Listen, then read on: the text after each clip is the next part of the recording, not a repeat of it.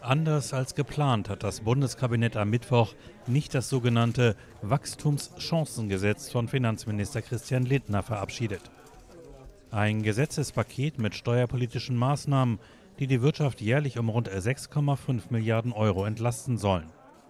Aber wegen des seit Monaten schwelenden Streits in der Koalition über die Kindergrundsicherung blockierte Bundesfamilienministerin Lisa Paus von den Grünen die Hilfen für die lahmende Wirtschaft.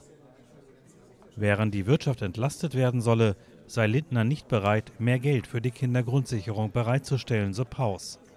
Politikerinnen und Politiker von SPD und FDP äußerten sich verärgert. Deutschland braucht wieder Wachstum. Die strukturellen Bedingungen für die Wirtschaft müssen verbessert und Investitionen attraktiver werden. Es ist daher bedauerlich, dass ein Kabinettsbeschluss zum Wachstumschancengesetz trotz des Einvernehmens mit dem Wirtschaftsministerium nicht möglich war, schrieb Lindner auf dem kurzen Nachrichtendienst X, vormals Twitter.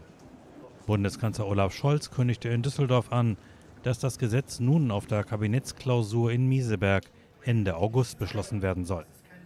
Wir beschließen noch in diesem Monat ein Wachstumschancengesetz. Damit bauen wir Bürokratie ab und fördern Investitionen, ganz besonders in Forschung und Entwicklung und in klimafreundliche Produktion. Vor allem aber entlasten wir Unternehmen auf breiter Front. Mit dem Streit war die erste Kabinettssitzung seit drei Wochen für die Bundesregierung ein schlechter Start. Kanzler Scholz hatte erst vergangene Woche größere Geschlossenheit und mehr Tempo in der Ampelkoalition angemahnt. Scholz gab sich am Mittwoch dennoch gelassen und suchte beim Düsseldorfer Bütchentag den Kontakt zur Bevölkerung.